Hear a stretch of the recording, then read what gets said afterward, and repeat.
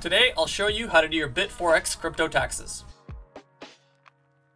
Hello, my name is Nelly. Welcome back to another wallet integration video. Today we're talking about Bitforex and specifically how to do your crypto taxes with the help of Koinly. So I'll tell you a little bit about this exchange, then I'll exchange, and then I'll jump into the integration part of the video. And then lastly, I'll show you how to download the necessary tax documentation. So yeah, let's jump into it. So Bitforex was founded in 2017, currently based out of Hong Kong. It is a top 100 exchange by trading volume. They have a decent feature set, but nothing really too crazy here. They do have a really nice academy where you can learn about NFTs, DeFi's, Web 3.0, and stuff like that. So definitely something that you should check out if you want to learn more about these topics. So in order to set up your um, Bitforex transactions, log into your Koinly account.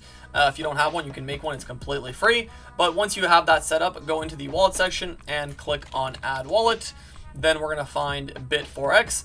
As you can see, there currently is no API option. It's in beta, which means it's not available. Um, maybe that's subject to change when you're watching this video. Um, but for now, we're to just go through the import from file option. So finding the CSV files, um, and maybe one day the API will also be available. So click on import from file, and then let me show you where to get those files from that exchange. First step is you're going to be logging into your account, of course, and then in the top right corner, you have an option that says orders.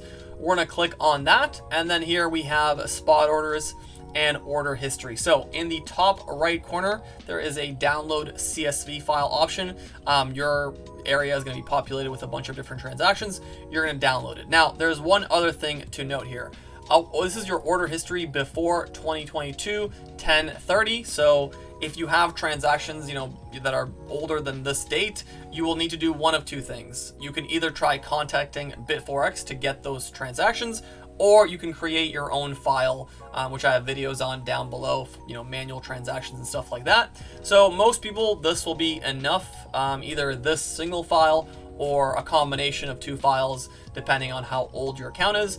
Now, if you're doing any other kinds of things like perpetual orders or Bitforex Earn, currently I don't see any CSV files for that. So once again, you're gonna be left with two options. Try to contact them to get your transaction history or create your own file um, but make sure if you are performing some of these trades to, to get all of your transaction history into Koinly from the first day you open your account or the first trade you made till whatever tax year you're currently doing. So once you've downloaded that file or those files, depending on your situation, take it, drag and drop it into Koinly, click import, and there you have it. So that is the way to load your information to Koinly. Um, like I said, no API available, and if you do have some older transactions or if you're doing all kinds of trades, you might have to make your own file or request one, um, but that's the general procedure. So once those transactions have been imported into Koinly, um, you can click on transactions and review them, make sure everything is sitting right with you. Koinly's already done the most difficult part, which is, you know, calculate your capital losses and gains.